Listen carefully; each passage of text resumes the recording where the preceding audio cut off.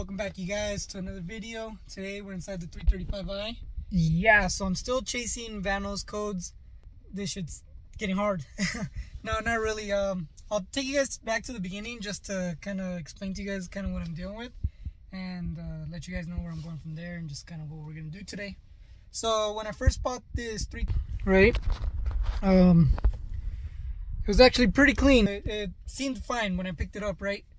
So on the way home, I ended up getting a code that day. I thought it was for like the JB4 because the owner told me in the tune, um, like sometimes they threw it. I don't know if it was a fuel pump or something.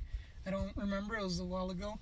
Exactly the conversation, but point being, it, it, it would throw this code every once in a while. It was a Vanos 2882, 2A82.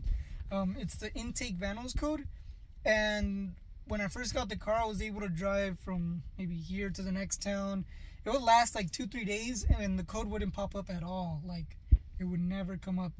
And then every once in a while, it would pop up, and I would use my MHD to erase the code, and it would go away for a few days again, or a few startups, or a few drives, whatever. Um, so that went on for a while until I decided that I wanted to fix the problem, right? So the car sat for a few months during winter the snow and everything, and you know, I wasn't able to drive it. A few months later, I buy some brand new Vanos solenoids, right? But I cheaped out, so I messed up. That was my fault. I realized that. So as soon as I get the new Vanos solenoids, I install them. I did a few other work to the car, a few other things, and uh, I go for a drive, right? When I go for a drive, this the car immediately throws the Vanos down the street, Vanos code, and I was like, what the hell? Like, I just replaced them, so I was so mad. I ended up uh, taking them off, messaging the seller and telling them that they didn't work. So they gave me a refund and I ordered some brand new ones off FCP. Sorry, I take that back. I ordered them from OEM Beamer parts, right? So that should have fixed the problem. Anyways, I installed these new ones and sure enough, as soon as I warm up the car and I go down the street and I try to hit boost, Vanos intake. So at this point, I, I I know it's not the Vanos solenoids, right? Because I've had two brand new pairs, second one being OEM. And uh, so I tried swapping the Vanos, intake to exhaust, exhaust intake, and it's still throwing the intake code, right? Step one is replacing your Vanos, right? That's probably what everyone wants to do, or at least clean them. I tried cleaning them, it didn't go away, so I ended up replacing them. So after I replaced them, um, I started doing more research because I started getting other symptoms like the injectors are ticking a little bit louder, right? So I looked them up. They're index 7 injectors. Um, they're for sure going to need replacing. And I'm sure one of them is leaking because when I do start the car, it is a little bit louder, right? But I don't think that's throwing my, my uh, Vanos code. So I kept looking into it and other people were saying it's going to be the cam ledge bearings, right?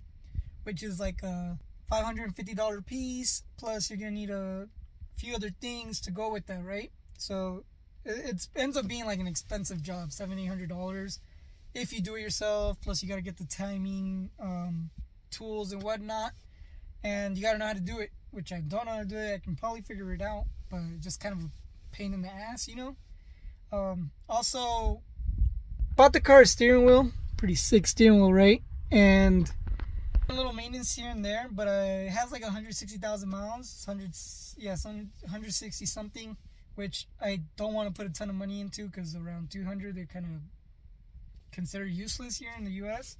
At least in my opinion, a lot of people don't want a 200 plus mile car. Um, so this thing was like way lower, 120, 130, 100,000 miles or less. Like I would easily throw money at it, even though it'd be more annoying because it has less miles. But I'm kind of I don't know. I don't know what to do. I, I I'm gonna do it, which sucks. But uh, I didn't want to spend that money on this car yet. I kind of wanted to set up the tune, get the JB4 and all that off. So, but yeah, that's just a story time, right? So that's where we're at. We're at step one, replace the Vanos. And then step three would be to replace the cam ledge bearings, right? And everything that goes in there. Teflon um, stuff and whatnot. But, uh, so after doing more research, I found the step two, right? So step two is these Vanos check valves. So the, the check valves are on the side of the motor.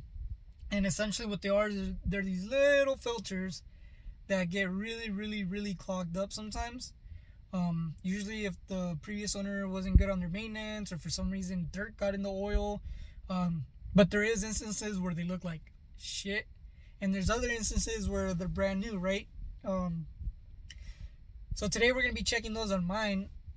Part of me is hoping that they're really dirty and just clean them will get rid of this 2A82 code that I'm still chasing down. So that way I don't have to spend 700 plus dollars on cam ledge bearings. Or uh, another part of me wishes that they're clean because then that would mean that the previous owner actually took care of the car right or at least like took a little bit better care of it or did a regular oil intervals and whatnot so let me show you where it is in the front of the car all right so like i said i've already swapped the vanos. I checked the wiring make sure there's no cuts. I mean there's little parts like this where it's missing plastic um, but nothing crazy. I i really don't think it's the harness itself. I'm not sure exactly what it is at this point besides those Vanos check valves or the cam ledge bearings which will be you know in there after we remove the valve cover but something I wanted to throw in real quick is uh, the previous owner from this car has actually been really really helpful he's um, helped me out whenever I've asked a question he's hit me up after watching my videos and let me know that you know he tried to do the best that he could while he had the car so I'm super thankful that he actually took care of it. I know the previous owners we can't speak for, and uh, I'm not blaming it on the one right before me, right? Because the, the guy took amazing care of the car. He like wrapped it, put wheels on it. You know, you can tell he was actually putting in some work into it and trying to take care of it. Um, as far as like the previous owners, we really don't know. So that this is one of those maintenance items that even if you're 100% sure that the guy before you took care of it, you might still want to check it out because the person before that might have uh, just let it go bad. So I got my front passenger wheel removed, right? I took off the wheel and then I took off the front fender liner. Well, actually, I didn't have it. But if yours has it, you're going to have to take this off. Sorry about the dirt. And then, let's see if I can show you guys. The Vanos check valves are going to be they're gonna be those two things right there, right? I know they look like uh, they're right next to the exhaust uh, manifold in the corner, but it's gonna be these two, right? They're they're a little hard to find. You can find pictures of them, and I'll show you guys. But essentially, they're in here right there you can see one of them right and some people report that it's easier to get it from the top I think it is I just wanted to show you guys kind of what it looked like so for this all you're gonna need is a T40 Torx 40 and some extensions wobbles whatever you need to get it out be patient with it you don't want to strip them some people strip them and it's gonna be a real bad time for you so don't do that uh, let's go ahead and remove these Woo! All right, you guys. So I ended up taking off the bolts for the reservoir just to give me a little bit more space because my aftermarket outlets are in the way. But I was able to get the top one out. This is what it looks like. So that's actually pretty disgusting. Um, as you can see, there's a ton of filth, grime, dirt. It looks like just stuck on there. So I'm going to clean this off and spray it with some MAF cleaner. And then these actually might be bad because when you shake them, you're supposed to be able to hear the check valve, but they could be just really clogged. So let me see after I clean them. Alright guys, so cleaned it up a bit, as you can see. Uh, it looks like it has a little bit of burnt mark right here. I'm not sure what that is, if that's normal or not. So it looks a little, a lot, a lot better than when I first got it out, right? Um, also, I was able to get it to make that little noise I was trying to show you guys. Let's see if I can. You hear that? Yeah, this one was uh, completely stuck. The It wouldn't make that noise at first. I'm thinking maybe it was grimed up and it's finally loose. I'm to keep playing with it just to keep the movement going. But I think that that was part of the issue, right? I'm most likely to have to order a new one. They're not that expensive and uh, it's not insanely hard to get out. I think they're like 30 bucks each, but that's just something small that you can check out. like I said, I believe this thing was either shut open or shut closed, and it was just letting oil keep going through. Um, like I said, wouldn't make that that valve noise. That one right there. But now that means that it's moving freely. Alright guys, so I just pulled off the exhaust one, or the bottom one I believe it is. And uh, this is what it looks like. This is what it looks like. There's a little bit of grime right here on the bottom edges as you can see. Um, the same burn mark. Before I clean it, let's see if it makes a noise.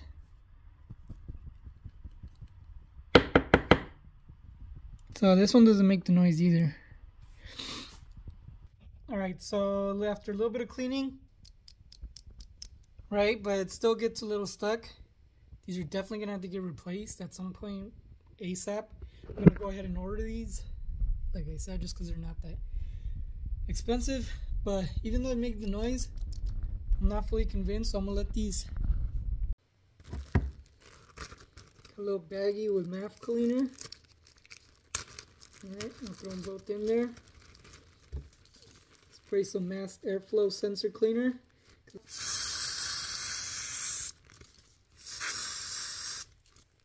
And I'm gonna let these soak up for about 30 minutes.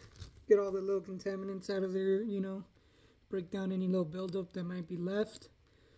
And then I'll go ahead and install them back in. Alright you guys, so it's been 30 minutes. Uh, let me show you guys what it looks like. So these are the Vanos solenoids. It doesn't really matter which one's which because they're uh, interchangeable. But uh, you guys hear that? You can hear it on both now. Pretty fairly easy. Every once in a while, if you hold them upside down, they kind of seem to struggle for some reason. I'm not sure if that's normal, but as soon as you flip it the other way and gravity's working with you, it does a lot better. Essentially what these do is they'll they make sure that the oil only goes in one way, but you want to make sure that they're not getting stuck. They all sound like they're working now. Super excited. I'm hoping this is a fix, so that way I don't have to do the cam ledge bearings because it's going to be fucking annoying. Yeah, just a reminder to actually like let them hang out for a bit because look, all this junk was still stuck inside of the Vanos solenoid. And I'm sure there's still more, but uh, and the water turned out disgusting looking. And that was after I had already cleaned them, so yeah, just uh, some advice there. I'm gonna go ahead and install these back in and then I'll take it for a ride later.